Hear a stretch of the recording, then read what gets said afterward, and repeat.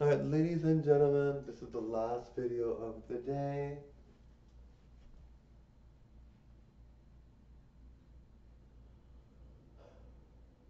Thank you for watching. Bye.